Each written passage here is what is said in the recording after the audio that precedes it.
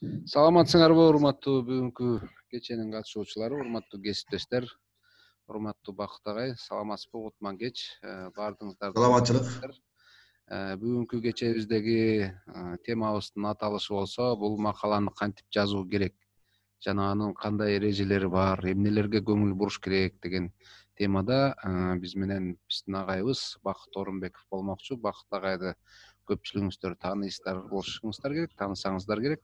Көптөгөн э, гезиттерде иштеген мамлекеттик гезиттерде иштеген жаңылбасам мен э, кайсы бир элчиликте да дипломатиялык кызматты аркаласаңыз керек э бакыт байке?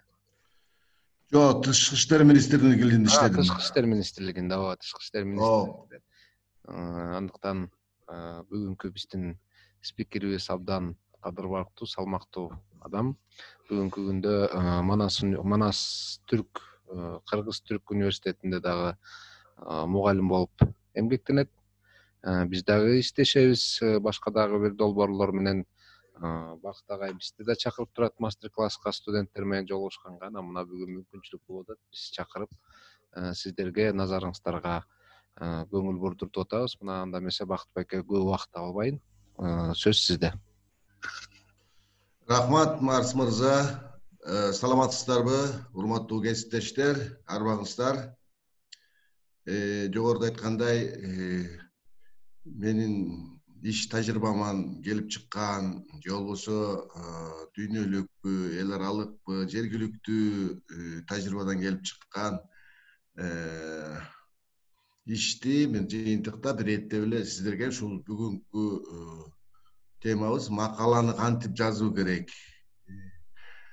макаланын дагы анализ макала деп дагы тагыраак айтсак болот ошону кантип жазуу керек деп сиздерге айтып берейин сиздерде мен жогоруда марс мырзадан да сурадым аудиториянын контингенти тууралуу даярдыгы тууралуу айтты тажрыйбалуулар да бар тажрыйбасы аздар да бар студенттер да бар жергиликтүү жергиликтүү маалымат каражаттарын иштегендер да бар деди да ошондуктан айрымдарыңыздар үчүн менин айтып атканым жаңылык деле болбой калышы мүмкүн мүмкүн кошумча дагы бир маалыматтарды бериши мүмкүн айрымдарыңыздарга ошондуктан кыскасы биз сапаттуу маалыматты кантип жаратабыз деген эле темага аракет көрүп жатабыз да. Макаланы кантип жазабыз деген атат да макаланы жазуу дейт э, мындай көрүнгөндө журналист үчүн аябай мындай эмгекти талап кылган жөндөмдү талап кылган бир чоң олжо табылга деп айтып жүрөт да чоң табылга дегени бул маалыматта макалада жаңы нерсе болуш керек жаңы нерсе табылыш керек олжо деген дагы сөз сиздерге жакшы тааныш да жакшы маанисин билесиздер олжо бул дагы бир э, пайдалуу нерсе коомго пайдасы тие турган коомду бир э, ойгото турган сөз айтыш керек болуп атат да макаладачы эң негизги максаты да. Мына ушундай дейде биздин макалабыз чоң табылга олжо болуш керек. Аны э, журналист жөндөмү менен аракети менен жасаш керек. Айтылганы менен э, жасоого келгенде бул нерсени жасоо бир топ түйшүктү талап кылат экен да. Бирок тилекке каршы айрым журналисттер антип түйшүк тарткысы келбей маалыматтын чындыгына аныктыгына себептерин ача албай калган учурларыбыз да аз эмес да ошондуктан мен сиздерге макалаңыздарда чоң табылга болсун олжо тапканга аракет кылыңыздар деп кеңеш айтарым.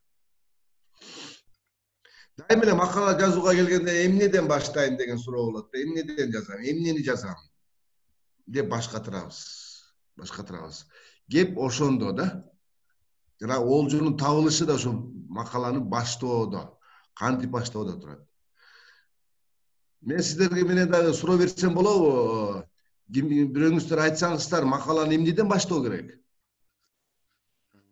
суроо берилди агай тараптан. Макаланы эмнеден баштайбыз деп ойлойсуздар биз биринчи ошол тема тууралуу маалыматтарды изилдөө жүргүзүп ошол тууралуу маалыматтарды таап баштасак ыңгайлуу болот деп ойлойм. Өзүбүз үчүн да жеңил болот деп. Сиз айчүрөксүз э? айчүрөк рахмат. Ооба. Айчүрөк сиз кайда иштейсиз? Мен студентмин. Студентсиз. Каякта каякта окуйсуз кыргыз түркман университетинде сиздин окуучуңузмун кайсы курстасың? Экинчи курс. Жакшы жакшы. Азамат. Жакшы. Демек айчүрөк ушундай деп атат дагы ким айгерим бул жерде чыгып атат. Айгерим сиз айтсаңыз. Арыбаңыз агай менин оюмча айгерим да менин студентимсиң э ооба агай менин оюмча биринчи кезекте бул бир проблема болуш керек да ошонун негизинде анан мындай проблеманын негизинде биз темабызды тактап алып анан изилдөө жүргүзүп анан макала жазабыз.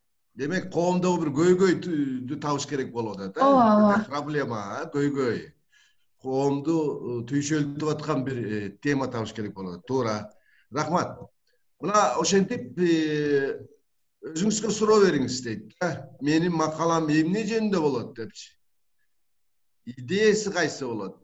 Мен окурманга бере турганым эмне болот деген суроолорго жооп табыш керек болуп атат макаланы баштаардын алдында ушуларга жооп тапсаңыз анан кийин макаланын идеясы чыгат макаланын темасы чыгат деп башкысы жанагы айгерим айткандай дагы көйгөй тапкыла көйгөй ал көйгөй өтө трагедиялуу да көйгөй болушу мүмкүн ал көйгөй кубанычтуу болушу мүмкүн. Ал неме башка биз жеке эле жалаң эле эме эмес. Мисалы үчүн аябай терс көрүнүш эмес оң көрүнүштүү деле макалага жазса болот да. Демек биз өзүбүзгө өзүбүз суроолорду коюп суроолорду табалы идеясы кайсы? Келгиле анда кандай идеялар бар деп ойлойсуңар айтсаңыздар. Урматтуу катышуучулар бүгүнкү күндө ушул учурда биздин коомдо эмне көйгөй болуп атат эмне тема болуп атат идея айткылачы эң эле эң башкы маселе кытайдын карызынан кантип кутулабыз деген маселе болуп атат ооба ооба мына кытайдын карызыбыз качан кутулабыз мына коомдо бар жалгыз эле кыргызстан эле чет өлкөлөргө сыртка карыздай болуп туюлуп атат да такыр белчесинен батып калган болуп атат. Коомчулукта ушул карыз деген эмне аны кантип төлөйбүз кимисин качан төлөйбүз каяка канча карызбыз деги эле башка өлкөлөрдө карыз барбы болсо алар кантип төлөп атышат деген суроолор жаралып атпайбы демек туура бул өтө көйгөй маселе болуп атат. Дагы бир дагы бирди айтсаңыздар мен айтсам болобу менин оюмча гуманитардык илимдердин азыркы күндөгү пайдасы деген макаланы ойлонуп жүрөм да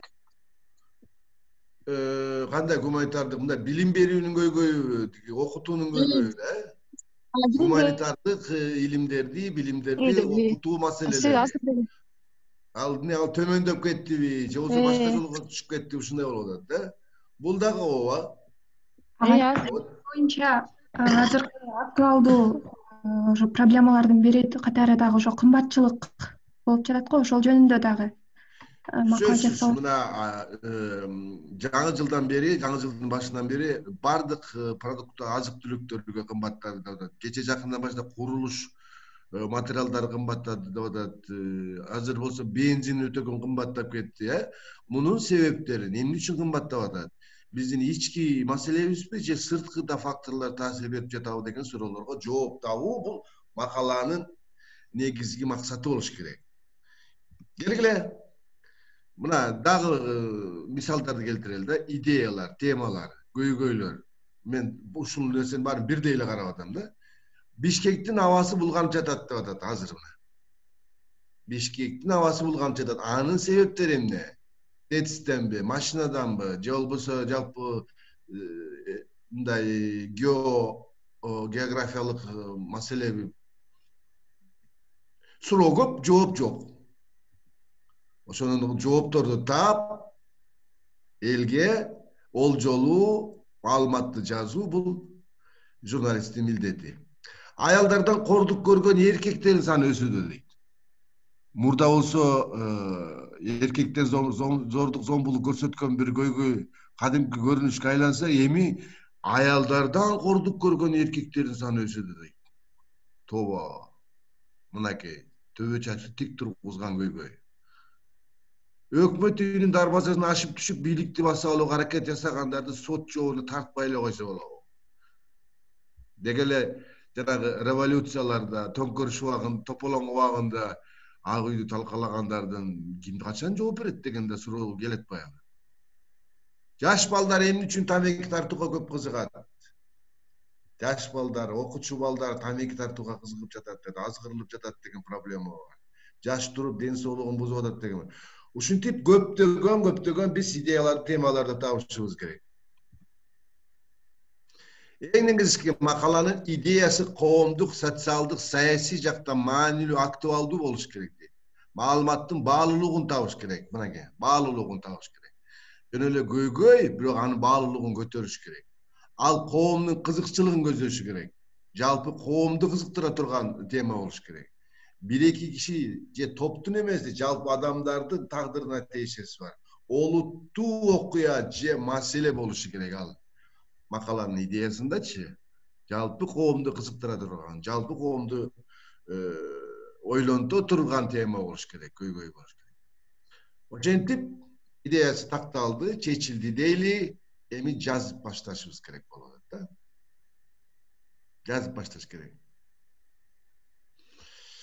Макаланын негизги бөлүгүн жазаарда же баштаарда ошол маселеге тиешеси бар бир эки окуя дейт тарых тапкыла дейт эгерде аялдарынан кордук көргөн эркектердин саны өсүп атса анда аялынан токмок жеген бир кишини табышыбыз керек болуп атат да кишини табышыбыз керек ошол кишинин окуясы кантип аялынан кордук көрүп атат ага эмне себеп болуп атат деп ал өзүнүн тарыхын айтып берсин ал атын деле жашырып кое берсин бирок бизге атынын мааниси жок бизге ошол окуянын же болбосо көйгөйдүн себебин ачып бере турган маалыматтарды табышыбыз керек да ошол окуя аркылуу келгиле анда моундай бир теманы таап көрөлү жазып көрөлү бишкекте тилемчилик кылган көчө балдары көбөйдү дейт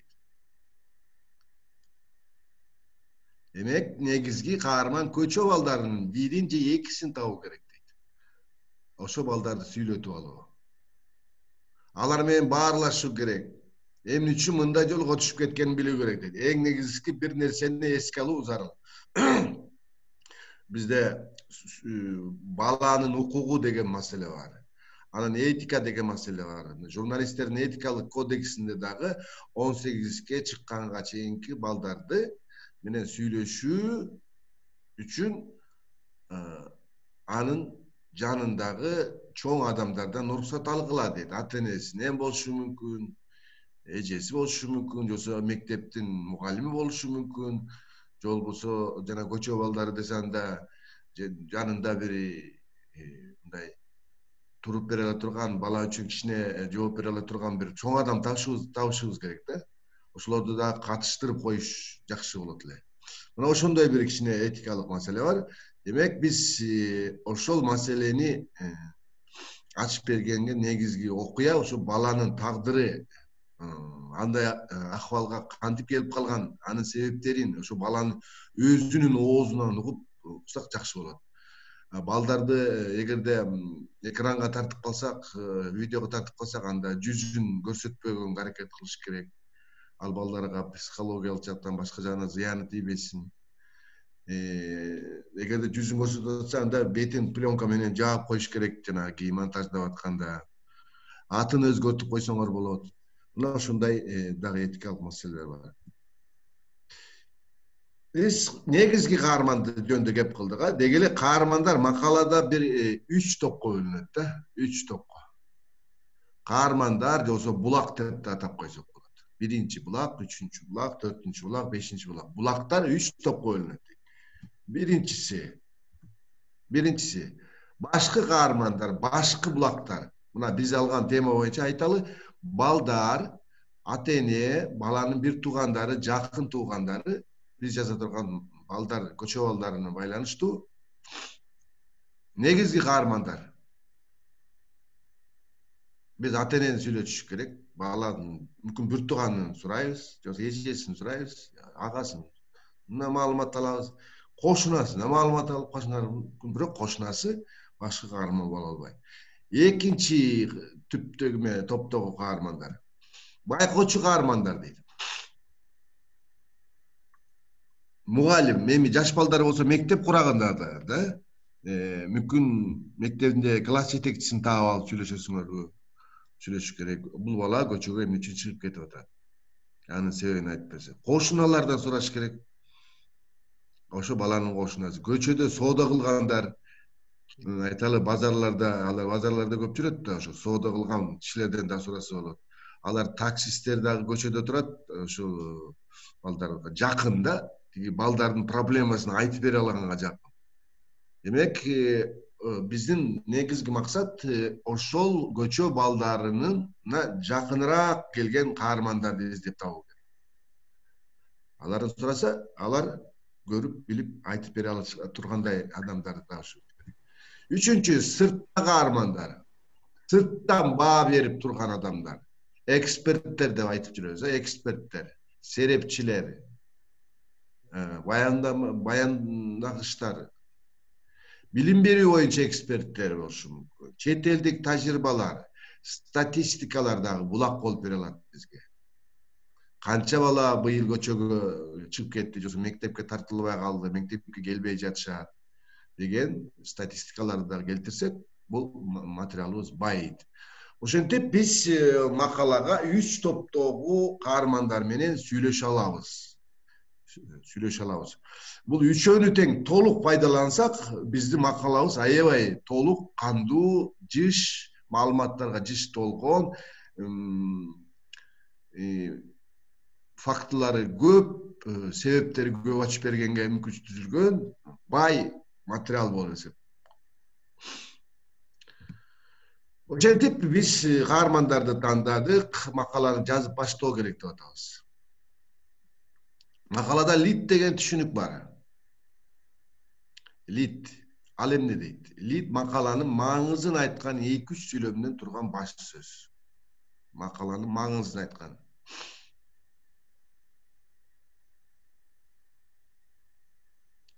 Мисалы үчүн кандай болушу мүмкүн? Азыркы биз тема алган акыркы жылдары кыргызстанда көчөгө чыгып кайыр сураган балдардын саны өсүп жатат эки эсеге өстү үч эсеге өсүп кеттиби кандай болду бир жана олуттуу эмеге алып чыгыш керек анын себептерин ачып берүү үчүн биз төмөндөгү макалабызды сунуштайбыз же болбосо иликтейбиз деген сыяктуу бир жакшы эметиш керек өзү макаланы лид макаланы окута турган текст болуш керек да макаланы толук аягына чейин окуш үчүн лид жакшы жазылыш керек. Лид жакшы жазылыш керек лид аябай курч болуш керек. Лид аябай түшүнүктүү окуманды өзүнө тарта турган текст болуш керек. Ошентип бул итти жаздык. Анан кийин мен сиздерге азыр мына көрүп атам көрсөтүп атам макаланын негизги структурасы да журналисттин баяндоосу дейт же болбосо журналисттин ошол проблемага киришүүсү жазылган жалпы баяндоосу. Анан кийин каармандын пикири булактын пикири. Ошол журналисттин баяндоосун бекемдей турган бир нерсе. Эксперттик пикир каармандык пикир. Андан кийин экинчи журналисттин баяндоосу. Макаланы менен проблеманын дагы бир өңүтүн ачып баштап атат дагы баяндап улантып атат ал ойду бекемдей турган аны бир жолу мындай ташка тамга баскандай бекемдей турган каармандын пикири андан кийин статистиканы келтиришиңер мүмкүн балдар жөнүндө чет элдик тажрыйба болушу мүмкүн мисалы үчүн европадагы бул көчө балдары менен кандай иштешет аларда же болбосо аларда көчөгө чыгып кетүү негизги себеби эмнеде кайрадан журналисттин дагы бир баяндоосу бул көйгөйдүн дагы бир үчүнчү башка жагынан кирип башка жагынан дагы бир өңүттү ачканга аракет кылган баяндоо ошону бекемдей турган каармандын пикири мына ушинтип кете берет кете берет андан кийин журналисттин баяндоосу анан кийин жыйынтык сөз менен да бул жерде мен сөзсүз гана ушунча пикир ушунча баяндоо болот деп айта албайм мисалы үчүн журналист үч жерден баяндашы мүмкүн журналист беш жерден баяндашы мүмкүн журналист он болушу мүмкүн каарманыңар дагы ошондой каармандар дагы чек жок каармандарга дагы кээ бир макалалар үч каарман менен чектелет кээ бири беш кээ бири андан да көп болот да кыскасы бул эмени материалды ачып бере ала тургандай ачып бере алса ушулар менен чектелсе болот жыйынтык сөз деген бар. Жыйынтык сөздү мүмкүн бир каармандын пикири менен дагы эксперттин пикири менен дагы жыйынтыктаса анткени ошондой жыйынтыктоочу пикир айтышы мүмкүн алчы ушинсе да болот да. Мына ушундай структураны ушундай тизмени сиздерге мен сунуш кылам. Ошондо жакшы болот эле анда бир макаланы мына азыркы мен сунуш кылып аткан структурага жакын ошого окшош бир макаланы сиздер менен тааныштырып көрөйүн да. Криминалдан арылбаган ош деген макаланын заголовкасы болуп атат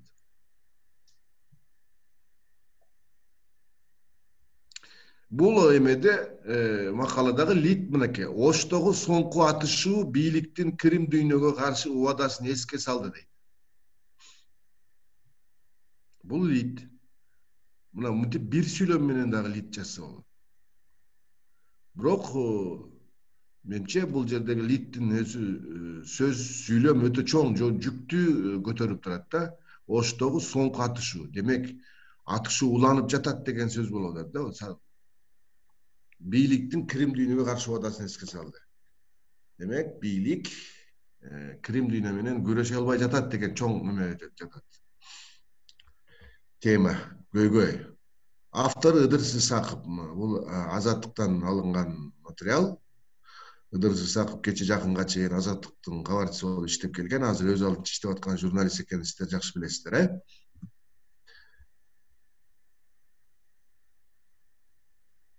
макалада албетте сүрөтсүз макала болбош керек сүрөтсүз макала макалада ошол айтылган проблемага жараша сүрөт коюлуш керек. Ал сүрөттүн фотосун ким автору ким жазган ким тарткан сөзсүз. Бул мыйзам жүзүндө дагы этикалык нормада болуп эсептелет да. Эле анда жана биз структурага жакындатып көрөлү окшошот бекен окшошпойт бекен. Кара сууга караштуу фуркат айылында араван райондук милициясынын мурдагы кызматкери төлөгөн рахманбердиин уулуна ок тийди бул окуядан кийин кылмышка шектүү катары эки адам кармалганы бири ош шаардык спорт комитетинин төрагасы кик бокс боюнча спорттун чебери кылыч саркарбаев экени айтылууда жыйырма экинчи сентябрь күнү таң камал кара суу району фуркат айылында атышуу болуп анда эрежесиз муш таштын чебери төлөгөн рахманберди уулу жаракат алган ош облустук ооруканасына түшкөн мынакей проблеманы көйгөйгө кирүүгө окуяны чоо жайын журналисттик баяндоо менен айтып берип атат жазып атат бизди окуяга киргизип атат окурманды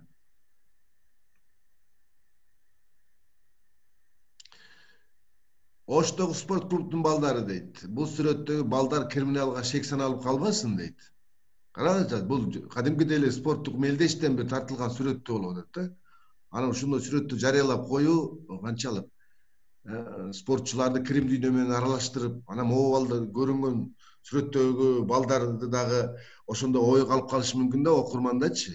Ошондуктан сүрөттөрдү пайдаланууда өтө этият болуш керек да этият болуш керек. Могул жердеги балдар мени криминалга э, шек санатып силер эмне үчүн менин сүрөтүмдү пайдаландыңар деп сотко да бериши мүмкүн. Ошондуктан бул жагы дагы мыйзамдык дагы этикалык дагы маселе бар бул жерде.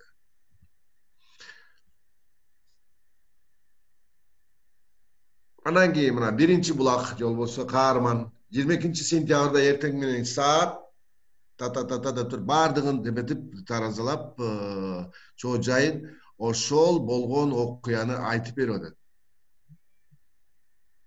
рахманберди уулунун жоон санок деген ошол окуяга түздөн түз тиешеси бар рахманберди уулунун көрдүңөрбү биз окуянын эме өңүтүн ача баштадык өз башкы каарманыбыз өзү айтып берди бизге кайрадан журналисттик баяндоо учурда рахманберди уулун аны менен кошо машыгып жүргөн кылыч саркарбаев атканы айтылууда саркарбаев эрежесиз мушташтын чебери бир нече эл аралык мелдештин жеңүүчүсү соңку кезде ош шаардык спорт комитетин башкарып жаткан анын өзү менен байланышууга мүмкүнчүлүк болгон жок көрдүңөрбү жанагы окуя боюнча айтылып жаткан тараптардын баардык тараптарга бирдей мамиле кылуу баардык тараптарды сүйлөтүүгө сүйлөшүшкөнгө аракет кылыш керек. Ошондуктан бул жерде журналист саркарбаевдин өзүн сүйлөткөнгө аракет кылып бирок аракеттен байланыштан мүмкүнчүлүктөн натыйжа болбоптур да бирок журналист өзүнүн аракет жасап атканын айтып атат мынакей жана айттыга биз жаңы өңүтү дедик бул окуяга саркарбаев тиешеси бар деп айтылууда деген мен улам саркарбаевка жолугушууга аракет атат жана айтпадыкпы даана сүрөттөрдү бергенден сак болуш керек депчи баардыгы көрүнүп турган сүрөттөрдөн э эгерде криминал спорт менен болсо моундай абстрактуу сүрөттөр менен болсо деле ошол макаланын бир өңүтүн бир темасын эмне жөнүндө болуп жатканын сөздүн төркүнү эмне экендигин айтып бере алат да мына. Аябай Э, маселе жок эртең суроо жаратпай турган сүрөт десек болот да.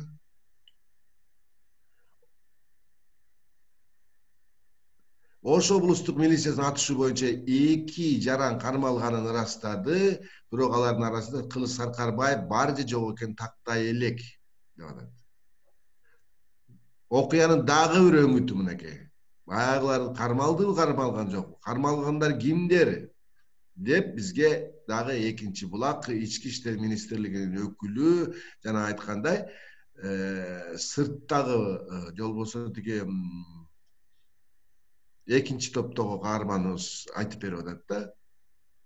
Фуркат айылында качан атышы болгонун чоо жайын айтып берип башка кылып анан кайсы берене боюнча иш козголуп жатканын айтып бизге дагы бир толук маалыматты бергенге аракет кылып жатат бул жерде журналистчи мына ушинтип пайдалансак болот кайрадан үчүнчү журналисттик баяндоо кетип атат окуя боюнча кармалып азыр сурак берип жаткан эки жаран жабырлануучу төлөгөн рахманберди уулун ооруканага алып келгендер экенин милициядагы өздүк булактар билдиришти алар учурда кылыч саркарбаевдин ордуна анын колунда машыгып жүргөн бекболот абдылда уулу кылмышты мойнуна алып жатканын кабарлашты мына дагы бир өңүт дагы бир кыры макаланын көйгөйдүн могул жерде дагы эме бар мына?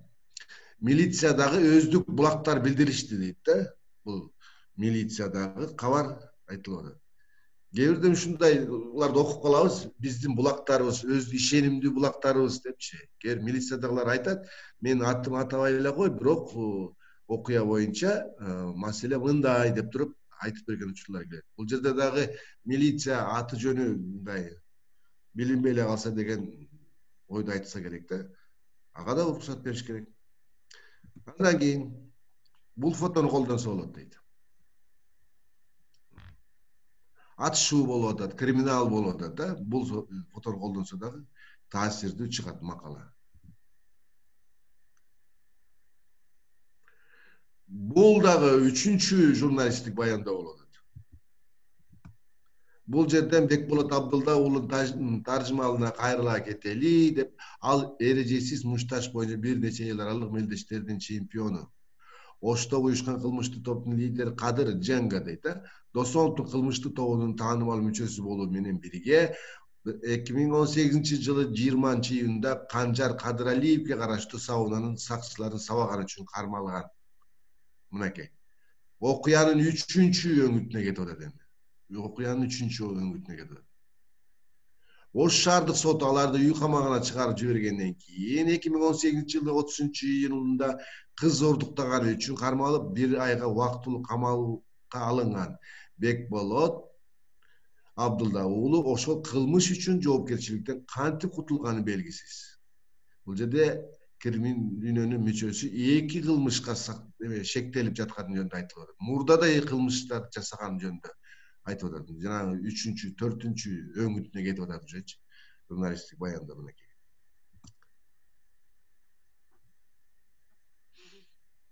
ош шаардык мэриясынын басма сөз кызматынын башчысы азамат абсатаров спорт комитетинин төрагасынын катышууга катышканын аныктаса ага чара көрүлө турганын билдирди ал мамлекеттик кызматкер болуп атпайбы да?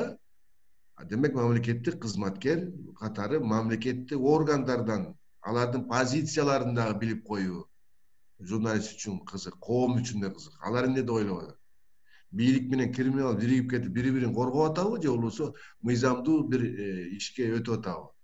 Ал жөнүндө да позициялар ошондуктан мэриянын басма сөз кызматынын айтканы бул мэриянын позициясы мэриянын реакциясы десек болот. Катышуу тууралуу маалыматтарды социалдык тармактардан дейт булактардан окудук деп айтып атат да. Эгерде саркарбаевдин катышканы аныкталса анда ага чара көрүлөт. Демек кызматтан түшөт. Же болбосо дагы башка чара көрөбүз дегендей катуу нерсени айтып атат.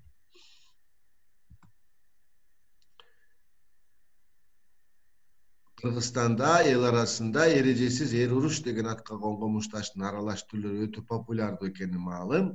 Бирок спорттун түрүнө бул түрүнө кооптонуу менен карап сынга алгандар да жок эмес. Мындай уюмдарды саясатчылар өздөрү каржылап спортчулар керек учурда курал катары колдонулары буга чейин да айтылып келгенди. Демек эрежесиз эр мушташ жөнүндө эмесин чоо жайын айтып атат. Анын кирим дүйнө менен кандай байланышы бар? Бул да бир өңүт. Канчанчы өңүт болуп кетти? Бир бешинчи алтынчы өңүт болуп кетти окшойт э бул көйгөйдүн. Бул жерде мынакей ошто болгон соңку окуя спорт клубдарына байланыштуу талкууну күчөттү ош шаарынын тургуну мирбек маткасымов мамлекет жаштарды спорттун олимпиадалык түрүнө кызыктырбаса мушташтын түбү жакшылыкка алып келбейт деп атат бул жерде да проблеманы айтып атат баардыгын эле спортко жамынып алышып жасалып атат олимпиадалык түрүн көңүл буруш керек. Ошону кызыктырып ошого көңүл коюш керек. Оштогу спортчулардын ачышканын тыянак чыгарбасак болбойт. Тез арада спорттун олимпиадалык түрлөрүн өнүктүрүшүбүз керек. Эр уруш деген бул коммерциялык спорт деп атат көрдүңөрбү анын мамлекетке тарбиялык жактан да экономикалык жактан да пайдасы жок. Мамлекеттин туусун эл аралык турнирлерде желбиретпейт.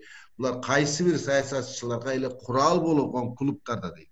Мындай бир жыл мурда азаттык бандиттер байлаган ош деген иликтөө даярдаган. Андан кийин андай андан бийлик эч кандай тыянак чыгарбаганын кечээки окуя көрсөттү деп атат бул дагы бир мирбек маткасымов ошол окуяны билген бул эксперт катары да бул сырттагы байкап баяндап анализ кылып турган адамдын эксперттик пикири болот ушул тапта октон жабыркап ооруканада жаткан төлөгөн рахманберди уулу буга чейин ош бажысынын мурдагы кызматкери эмилбек кимсанов менен бирге мурдагы министр молдомурза конгантиевдин баласын сабаганын маалымат каражаттарын жарыялаган мынакей бул дагы бир өңүт кимди качан дагы кайсы ишке алар шектелип жатат төлөгөн рахманберди уулу өзүнүн атканы айтылып жаткан кылыч саркарбаев менен жакын мамиледе болуп келген спортсмен саркарбаев болсо мамлекеттик кызматкер жакын мамиледе бийлик менен спортчулардын кирим дүйнөнүн жакындашып кеткенине жакын маалымат айтылып атат бул дагы бир өңүт кылыч саркарбаев азыр ок ооруканада жаткан төлөгөн рахманберди уулу да мамлекеттик бажы кызматында иштеп кеткен. Эл арасында райым миллион деген кайманаты бар. Райымбек матраимовго караштуу эрем спорттук клубунда машыгып жүрүшкөн деп журналист жыйынтык жасайт да кылыч саркарбаевдин анын кирим дүйнөсүнүн дагы бир өңүтү менен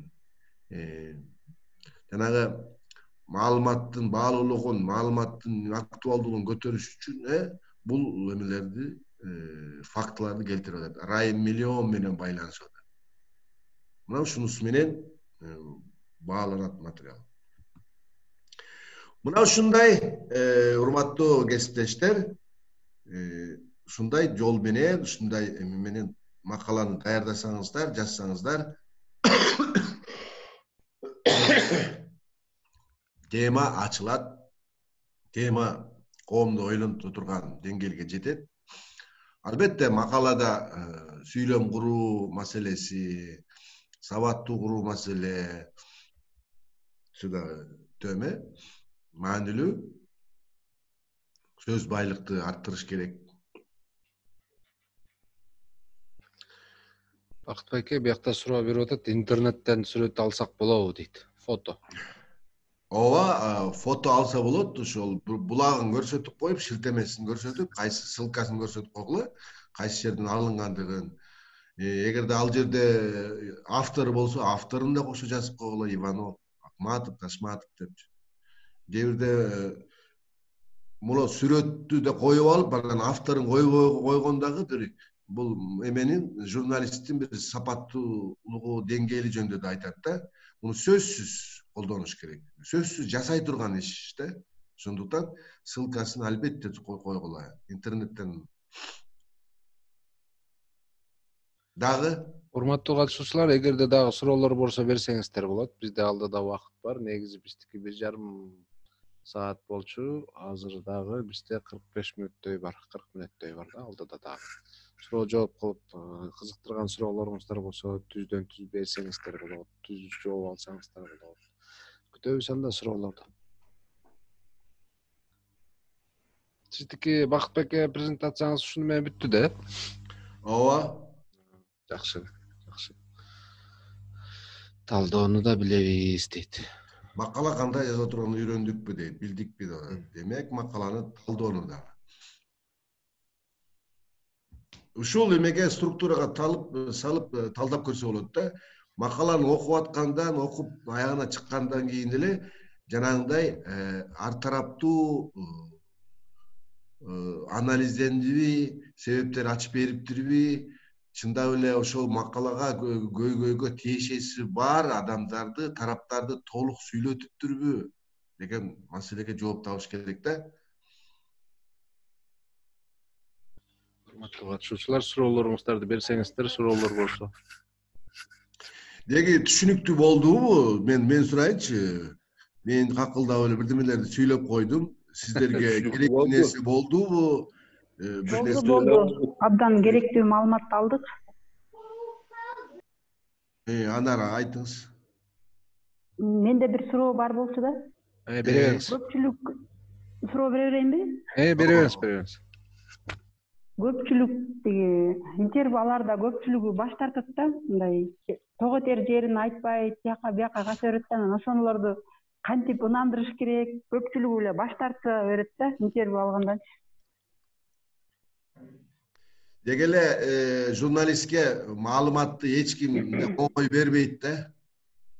Анткени биз мындай да оңой берген маалымат кандай? Оңой берген мындай мактанып ала турган пиар материалдар эле оңой бербесе а моундай макалалардагы темага э, эмелер булактар э, каармандар жөнөкөй эле маалымат бербейт бербейт эч убакта бул жерде мына спортсмендер эме каармандар ким болуп атат мамлекеттик кызматкер органдан барып сурайбыз силер криминал менен биригип кеттиңерби эмне үчүн чара көрбөйсүңөр деп сурайбыз туурабы ага жооп бербейт качат Э, башкалар да мүмкүн бир эле спортсменди барып алып дагы сурасак ал да качышы мүмкүн мына милиция айтып атпайбы өздүк булактарыбыз деп айтып атат да ошол жашырып атат маалыматтычы өзүн криминалдан оолап кармагысы келип атат эгерде жүзүн ачып маалымат берип койсо менен эртең өзүнө проблема жаралып калышы мүмкүн деп сактанып атат да а кээ бирде журналист ошол адамдын өмүрүн коопсуздугунун үчүн атын жашырып бергени туура эгерде бербей койду маалыматты журналист өзүн көрсөтүш керек да өзүн калыс мамиле кылып атканын көрсөтүш керек дейт ошо маалыматты калыс чагылдырып атканын көрсөтүш керек дейт телефонун бурап көрсүн телефонду бурап көрсүн мына бул баланча айыпка биз телефон чалдык мынакей аракет кылып атабыз бирок трубкасын көтөрбөй атат бул баланча үйдө жашайт экен мынакей терезесин тыкылдатып атам эшигин тыкылдатып атам ачпай атат депчи мына ошондой аракетиңерди көрсөтүп койсоңор анда окурман алдында коом алдында да журналист өзүнүн милдетин абийирдүүлүк менен аткарып жатканын белгилейт бул анткени этикалык кодексте да ошондой аябай тең салмактуулук болуш керек маалыматтардачы макалаларда мындай анализ макалаларда рахмат анара сиз кайда иштейсиз мен ошо тогуз тороо районундамын ошо эл аралык уюмдардын колдоосу менен медиа борбор ачкам анан жаңы кадам таштап атам да экичи кесип эки үч жыл болуп калды. Сиз азыр э, казарманда райондук гезиттин кызматкери болуп иштейсиз да жанагы? Жок гезит гезит эмес биз эл аралык уюмдун колдоосу менен ачылганбыз да жамааттык медиа борборбуз да. Жакшы. мамлекетке каралбайбыз да анан мен ошо жаңы кадам таштаганда ушундай интервью макалалар деле көпчүлүгү баш тартып эй койчу анын токтот дегенде кичине эме ыңгайсыз болуп калып атам да. Биздин район жаңы буга көнө элекпизби бул эмегечи жок эметиш керек. Маалымат булагын сиздин маалыматыңыз маанилүү экендигин коомдукко керек экендигин айтып ынандырыш керек да биринчичи эмне үчүн алып жаткандыгыңызды айтыңыз жарыялай турганыңызды жарыялабай турганыңызды атын бересизби бербейсизби ошого чейин этип тиги каарманды көндүрүш керек көндүрүүгө аракет кылыш керек сөзсүз эле бирөөлөр тиги коомго чыккысы келбейт таанылгысы келбейт угулгусу келбейт атын жарыялаганга анча эме бербейт мындай туура эмес көрөт да ыңгайсыз көрөт ошондуктан анын бизге атынын кереги жок бизге маалыматы керек бизге анын эксперттик ою баалуу окурман үчүн алар баары сиз журналистсизби өзүңүз кесибиңиз жок менин кесибим журналист эмес ошо долбоор жазып жүрүп эле ошонун арты менен медиа борбор ачкам анан жакынкы арада радио ачылуунун алдында турабыз да жыштык алдык анан частотный деле ала элекпиз да жакшы жакшы ийгилик анда рахмат болуптур дагы кимде кандай суроо бар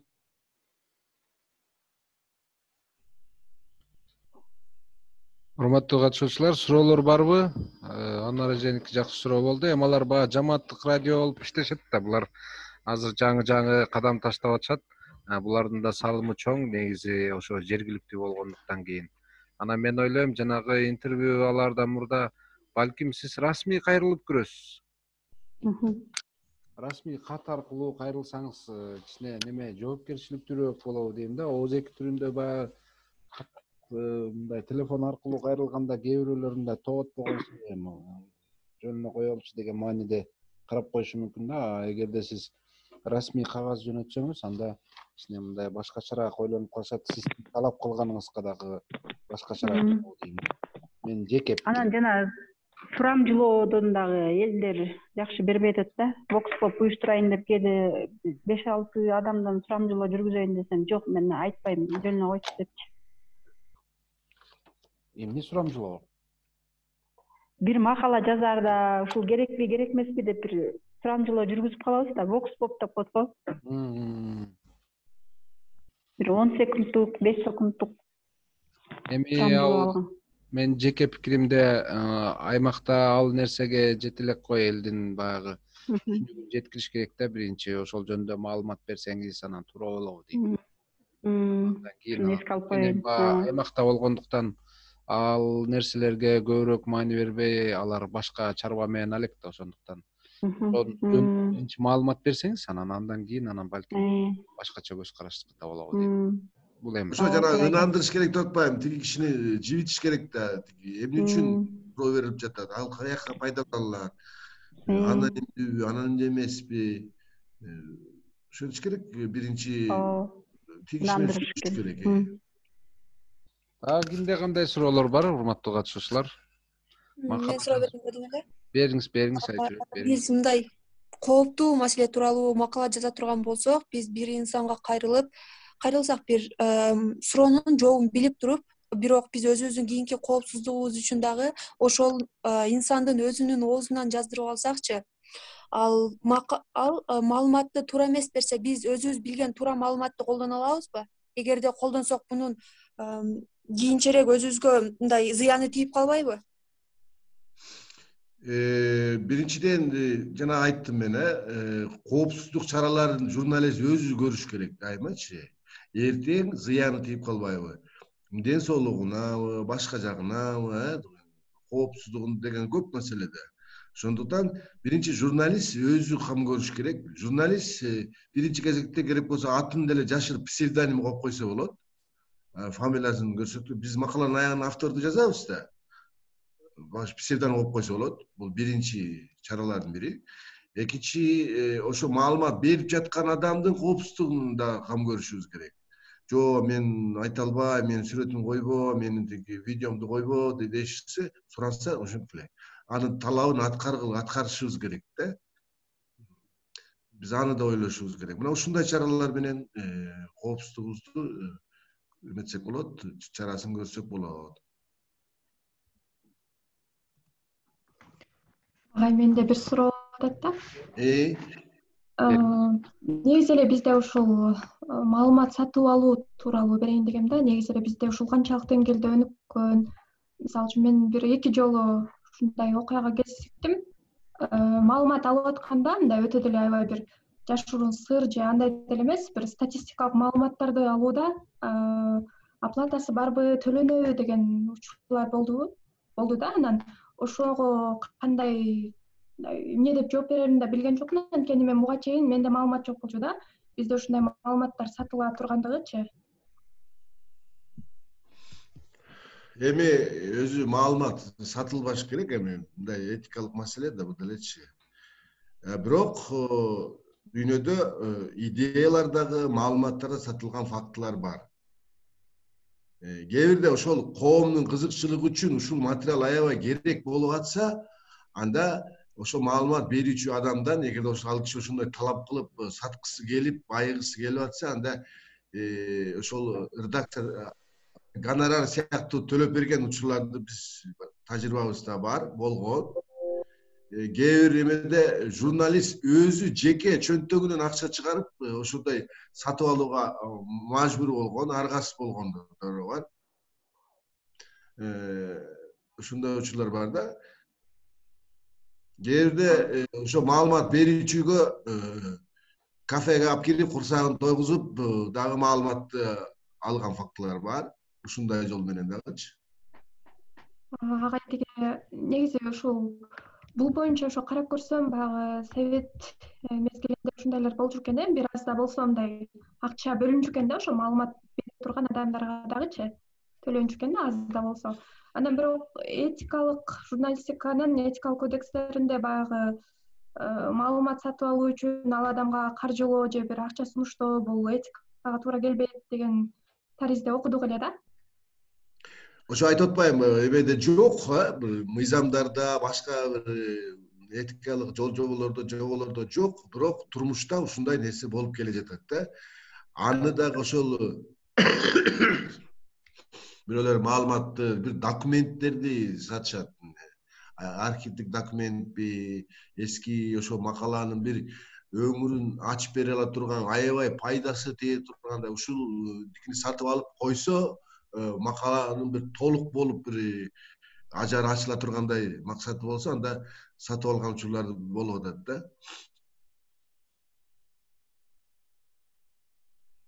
Азыр мен түшүнгөнүмө караганда совет доорунда жанагы маалымат бергендерге акча төлөчү экен деген жөнүндө сөз болуп атабы мен туура түшүндүмбү ошону э? Ооба совет заманында мындай болгон да жанагы өзгөчө мына коопсуздук комитети кгб деп коечу да информатор депчи анан ошол информаторлорго акча төлөнчү деп азыр эми айтылып жүрбөйбү. Демек ал эмгек да эмгекти баалап аткан учур болуш керек. А бул жерде журналистика да башкачараак да. Официалдуу түрдө биз эч кимден маалымат сатып алуу жөнүндө сөз жок. А бирок факты жүзүндө болуп атат. Жакшы. Эми ал кезде дагы бир нерсеси болсо керек. Ал баягы акча төлөгөнү ошо маалыматты дагы коомчулукка жеткирүүдө ошо маалымат бергенге умтулсун деп мамлекеттик кызматкерлер дагы мындай кызыктар кылып бир аз анткени илимий иштер көп болгондо ал кезде ошо илимий иштер жарык көрүп калсын деген менин өзүмдүн түшүнүгүм да. Кийинки баягы ойлонуп талдап таразалап көргөндөн кийин. Бакыт байке менде бирөө суроо берип атат жеңишгүл дейт «Э, кутман кеч бирок бакыт байке айткан структураны кесиптештерибиз көп колдонбойт го дейт. Буга сиз кандай карайсыз? Э, колдонсо жакшы болот эле ушундай структурада макала жазылса идеалдуу болот эле деп биз да.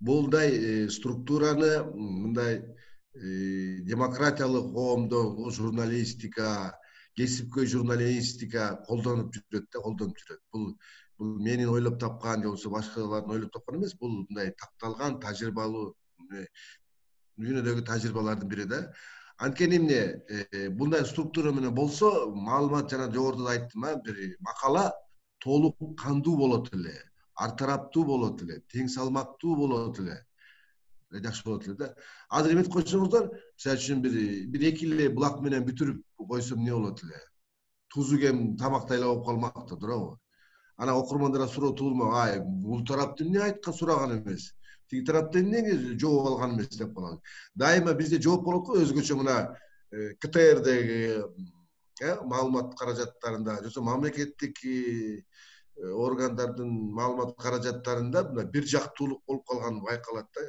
эмне үчүн тиги тарапка сөз берген эмес бул жөнүндө сөз болуп жатпайбы депчи эгерде айталы бийлик жана оппозиция деген проблема болот бар да дайыма а биз макала жазып атканда бийликтин өкүлдөрүнө да оппозициянын өкүлүнө да сүйлөшүшүбүз керек да анан бир тараптуу болуп калганда вот тузу кем деген ошол калыс болгонго да аябай жакшы болот эле да ошондуктан ушул структура колдонсо жакшы болот эле деп биз сунуш кылабыз дайыма рахмат түшүнүктүү жакшы дагы бир суроо берип атат мен бул бакыт мырзага бакыт мырзага толук кошулам да анткени азыр деген өзүлөрү пиарить үчүн жана сайттар саман учту болсо самарканд өрттөй атышпайбы ага бакыт мырзанын структурасы туура анткени баары далилденип анализденип анан жыйынтыкталып атпайбы. А тигинде болсо ошто момундай атышуу болуптур анан тиги дейт дейт деген менен бүтүп калып атат а бул болсо макалада баары конкретно жазылып аягында жыйынтык чыгып атат. Мен бакытка кошулам туура. Туура. Көрдүңөрбү дагы бир нерсе рахмат мурат мырза. Тиги макалада вообще анализ макалаларда журналист өзүнүн эмесин оюн таңуулаган жок. Өзүнүн ою жок бул жерде. Баардыгы булактар менен бекемделип атат баардыгы булактарга таянып баяндап атат керек болсочу а кээ бир мына сайттардан окуп калабыз макалалардычы журналист өзүнчө эле криминалды да жыйынтыгын чыгарат тиги ковид боюнча дагы бир ойлорун пикирлерин айта берет жыйынтыктардын баарын чыгарып эксперттик кылып айта берет андай болбойт да.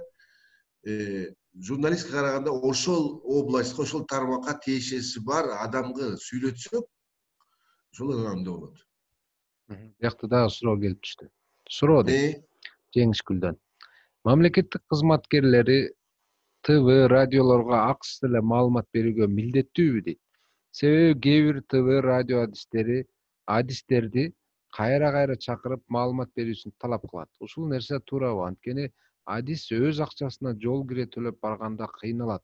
Эмне кылуу керек дейт? Мисалы телеканал же радио же гезиттерге эми көбүнчө менин түшүнгөнүмө караганда бул мамлекеттик телерадио берүүлөргө чакырган жөнүндө сөз болуп атат окшойт.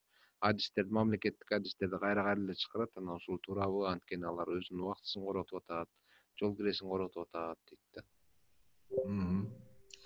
Мисалы үчүн мамлекеттик органдар жарандарга башка кызыктар тараптарга маалыматтар толук маалыматтарды берип турууга милдеттүү деген бир мыйзамда жобо бар да бул мисалы үчүн эми журналисттер деле ушунун арасында отурсак болот журналисттер дагы ушуну менен биз мамлекеттик кызматкерлерден маалыматты сурап талап кылсак болот да анан жанагы марс мырза айтып аткан эң туура да эгерде убакыт болсо башка болсо мамлекеттик органдарга кат жүзүндө кайрылып койгула кийин ошо катыңар сизге далил болуп берет аргумент болуп берет мына биз кайрылганбыз сиз берген жоксуз болуп калат да. Ошон үчүн официалдуу түрдө расмий түрдө кат аркылуу жолдоп кайрылып койсоңор аябай жакшы болот анан албетте кээ бир маалыматтарды телефондон алууга туура келет жанагы ким айтып аткан маселе акы төлөө маселесичи кээ бир маалымат каражаттарында ушундай бир норма бар экен өз алдынчачы калем акы сыяктуу эметип баягы эксперттик пикирин айтып эметиш үчүн дайыма мындай кээ бир эксперттер бар да мындай билимдүү даярдыгы бар кесипкөй ошолорду өздөрүнө штаттан тышкаркы бир адис эксперт катары пайдаланып аны андан кийин акчасын төлөп берип анан кийин иштетишкен учурлар көп эле болуп жүрөт кээ бирде мисалы үчүн кеч болуп калганда редакция таксилерди уюштуруп берип кайра ал адамды алып кетип алып келген учурларды да мен көрүп көрүп жүрөм да мына мындай шарты болсо ыңгайы болсо ошол адамдарга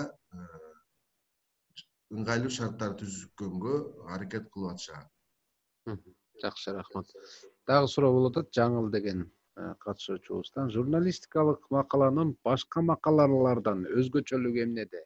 Мисалы илимий жана башкаларда жакшы суроо мына азыр илимий журналдарды ачып көрсөңүздөр анын аягында макаланы кантип жазуу керек илимий макаланы деген өзүнүн жобосу бар эрежеси бар жана мен айткандай структурасы да бар да талап ошондой ошол талапка салып жазып бербесеңиз анда илимий макала катары болуп эсептелбейт эсептелбейт аягында өзүнүн жол жобосу бар а илимий макалаларды жалпы окурмандарга сунуп көрсө ал нерсе журналистик макала эмес окулбайт окугусу келбейт анычы ошол илимий чөйрөнүн адамдары гана окуй турган макала дагычы жанагы стандарттар ошону талап кылат а журналистика бул эркин маалымат да эркин маалымат жана мен структураны каалагандай пайдаланса болот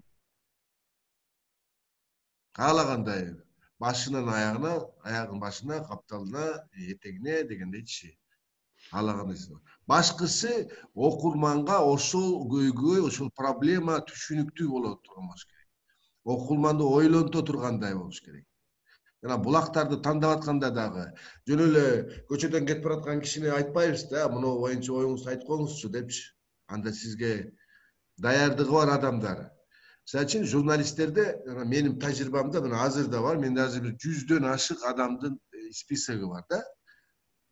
Бир жети сегиз тармакка бөлүп койгом экономика боюнча адистер миграция боюнча адис укук маселеси боюнча маалымат каражаттары боюнча деп турупчу мен дароо алардын телефондору бар дароо бет атайын бир файл ачып койгом качан кайсы убакта болбосун мен аларга кайрыла алам демек алар ошол өзүнүн тармагы боюнча дасыккан адис көптү билген же болбосо айтып бере ала турган кээ бир эмелердин эксперттер мындай өздөрү макалаларында башкалардын аябай окумуш жазгандарын окуйсуң а бирок оозеки эмеге келгенде айтып бере албайт да.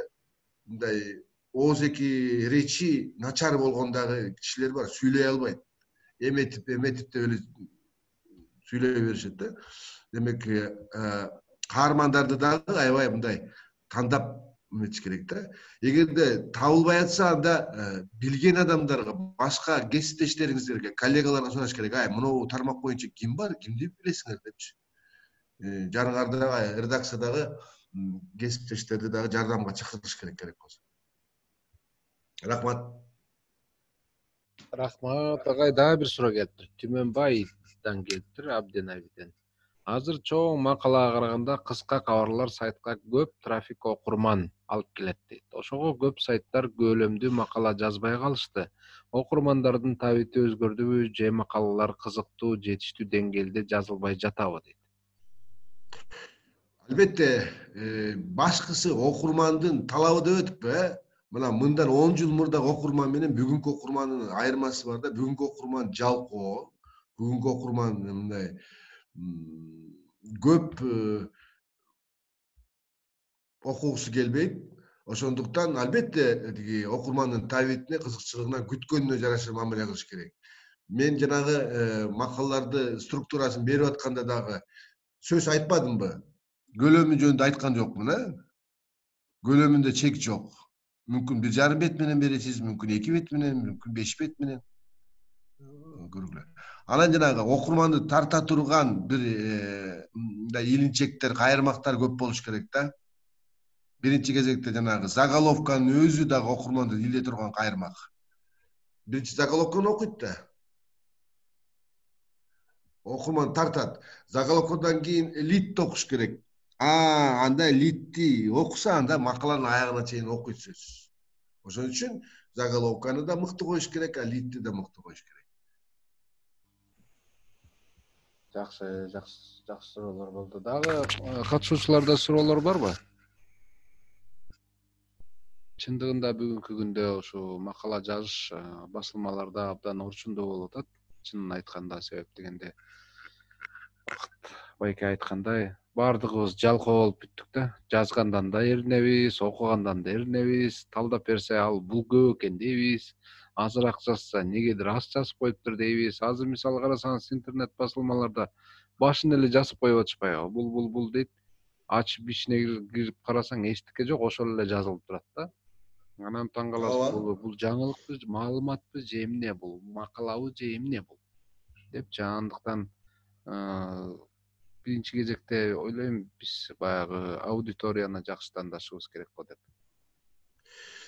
мисалы үчүн э, айталы азаттыктагы жана иликтөөлөр чыгып атат да бул дагы анализ макала да иликтөө деген бул анализ мындай кеңири талданган анализ макала анан ошол макала узун видеосу да узун анан кийин комментарийлер бар да аягында комментарий караса ошол макаланы толугу менен окуп чыккан окурмандын пикири болуп атат да окуп чыккандан кийин бир ой пайда болот да ооба туура туура окурманды илинчек кылып илимек кылып кайырмак болгон экен ал эмеде анткени ал жердеги айтылган ой талданып аткан жагдайга жараша болот да анан кийин меники кыска эле көп киши окуду меники узун эле аз киши окуп калды деген болбойт ошон үчүн жанагы ички маңыз да контентте турат да жанагы фактылардын пайдаланышы ишенимдүүлүгү ар тараптуулугу баланска алынгандыгы баары ал жерде айтылган ойлор фактылар бул жерде түмөнбай дагы суроо берип атат кызыктуу суроо берип атат гезиттердин архивдик маалыматтарына макалаларына кызыгып жүрөм кайсы гезиттерди сунуш кыласыз дейт мурдагы макалалар мурдагы архивдик айтып атат да барып барактап мисалы үчүн э, кыргыз туусу гезитинде э, кээ бирде жакшы макалалар чыгып калат. Ал жердеги журналисттердин макалалары мен ошо сунуш кылам. Мисалы үчүн кут билим гезитинде да жакшы макалалар чыгат. Кут билим гезитинде Э, ал жерде мындай э, интеллектуалдык чөйрө бар да анын тиги окурмандары дагы интеллектуалдуу чөйрө э билим илим тармагы жазган авторлор дагы даярдыгы бар аябай жазган. Э, ал жердеги журналисттерди дагы макалалар кызыктырат. Дагы эле көп эле эмелерди айтсак болот айрым аябай мындай жылт эткен жакшы макалаларды окуп калабыз. Бүйүр кызыткан талкуу жараткан макалаларды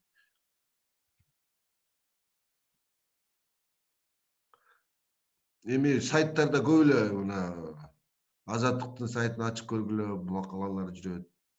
Мынау спутник kg сайтында да жакшы макалалар жарыяланат. Ак прессте жакшы макалалар жарыяланып атат. Клоп деген сайтта жакшы макалалар жарыяланып жүрөт. Мен микрофонду өчүрүп алып эле сүйлөй берген турбаймынбы түмөнбайга суроо да мисалы бул гезиттик архивтерди чогултуп анан кандай кылайын дедиң эле? Анын ою кандай эле? Сайттарга чыга элек учурлардагы гезиттерди сурагым келген дейт. Түмөнбай андан көрөк өзүңүз эле суроо берип э, түшүндүрүп берсеңиз толук кандуу жакшы болот эле. Түмөнбай укпай калды окшойт. Э, эмне дейсиз эме марс мырза неме дейт Э, мындай суроо берип атат да сайттарга чыга элек учурлардагы э, гезиттерди сурагым келген дейт. Сайттарга чыга элек гезиттерди дейт да. Мен түшүнгөнүм барганда мурдагы чыккан гезиттерди сунуштап атабы. Азыр эми гезит эле калбай калды да азыр. Мурдагы гезиттер сайт жок учурунда э сайты жок учурда э? Ошол жана мен айткан гезиттерди агым гезитин гезити жакшы макалаларды жарыялап турчу кыргыз руху деген гезитте жакшы макала жарыяланган. Ошо архивде ошол материалдарды алса болот.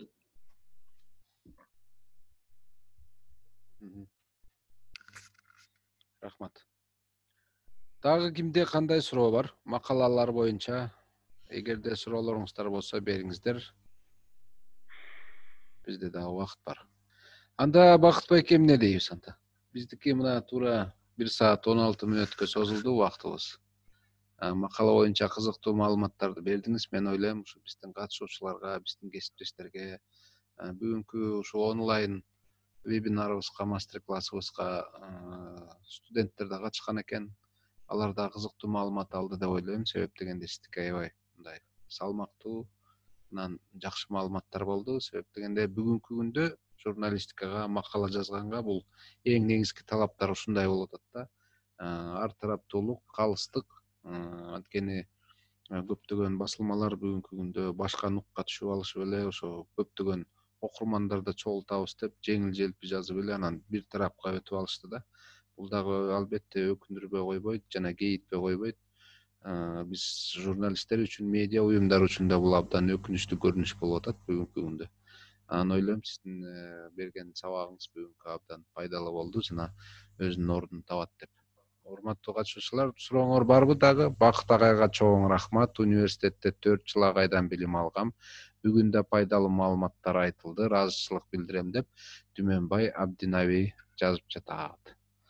Ыраазычылык аманчылык. Муратбек байке дагы жазып атат рахмат э, таза журналистика жыттанды бүгүн дейт.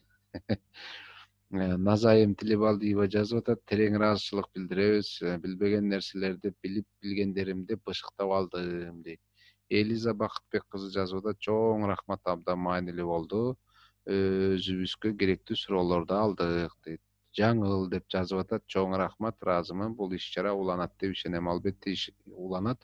Биз ар бир жуманын дүйшөмбү жана жума күндөрү ушундай онлайндарды өтүп атабыз.